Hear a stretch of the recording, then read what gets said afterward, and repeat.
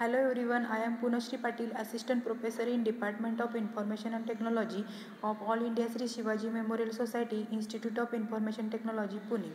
I welcome you all in this session. So today we have to discuss the control statement in C. So in which we have to see the what are the control statements in C, then types of control statements, decision making control statements and conditional control statements in C, then go to statement in C. So first one is the why are what are the control statements in C. So every statement in computer is executed based on the predefined rules. The control flow is also based on the logic. So at the time we find the necessity to execute the few customized logics. So custom statement can be executed using the control statements. So control enters the statement block and then gets executed if the logic is satisfied. Hence, they are called as the control statements. They are often used to determine the order in which statements must be executed. So, control statement in C help the computer execute a certain logical statement and decide whether to enable the control of the flow through the certain set of statements or not. Also, it is used to direct the execution of the statement under the certain conditions. So, there are the types of the control statements in C first one is the decision making control statement then conditional then go to statement in c then loop control statement c in c in which first we, we have to see the decision making control statement in which there are four types simple if statement if else statement nested if else statement and if else ladder statement. So first we have to see the simple if statement so simple if statement are carried out to perform the sum operations when the condition is only true. If the condition of the if statement is true, then the statement under the if block is executed else the control is transferred to the statement outside the if block. Here is the syntax of the simple if statement in which for see the if then we have to check the condition if the statement is true then go to the statement otherwise outside of the loop. Here is the flowchart of that a simple if statement.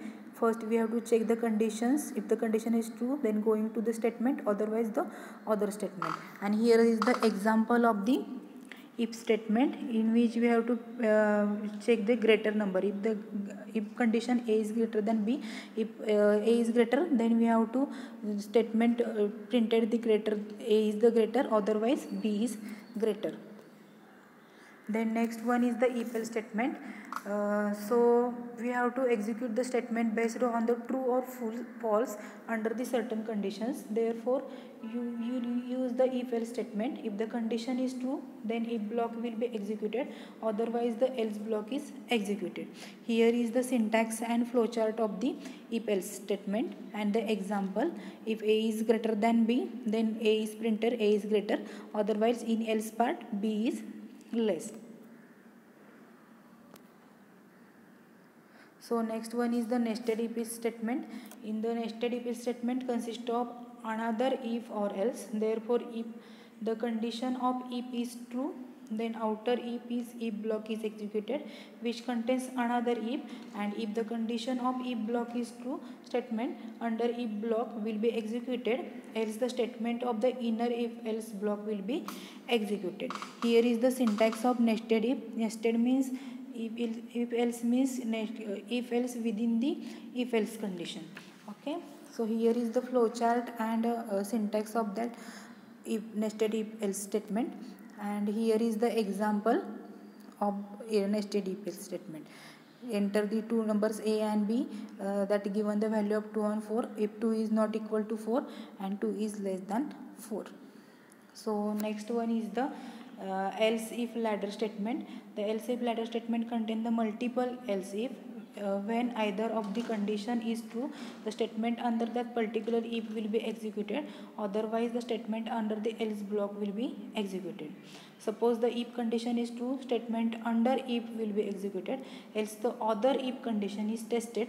And if that condition is true statement under that particular if will be executed. This process will repeat as long as the if else are the present in the program. Here is the syntax and flowchart of this if is ladder statement and here is the example.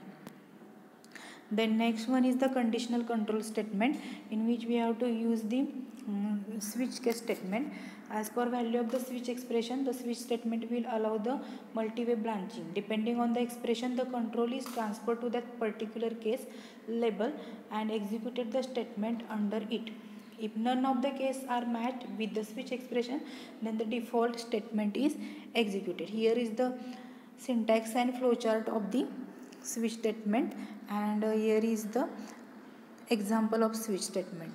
The next one is the go to statement so go to statement are used to transfer the flow of control in a program.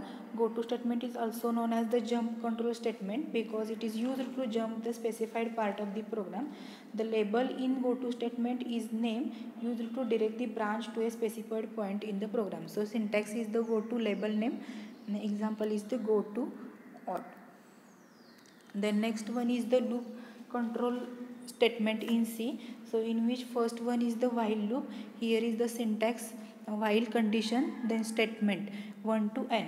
So while loop is also known as entry loop because in while loop the condition is tested first then statement under body of the while loop will be executed. If the while loop condition is false for the first time itself then the statement under the while loop will not be executed even once here is the flowchart for that while loop in which condition will be checked and here is the example. Then next one is the do while loop. So do while loop is also known as exit loop because in the do while loop the statement will be executed first and then the condition will the is checked so here is the uh, flow chart and uh, syntax of um, do while loop then next one is the for loop. The for loop is also known as the pre-test loop then uh, for from the following syntax that is expression 1 is initialization expression 2 is the conditional expression and expression 3 is for the updation. The variables can be initialized in the for statement itself. In the for loop, expression 1 is used for the initialize the variable, expression 2 is evaluated and the if condition is true, then the body of for loop will be executed and the statement under the expression 3 will be executed. This process is repeated as long as the for loop condition is true. Once the condition is false, control will return to the statement following for the for loop and execute those statements. Thank you.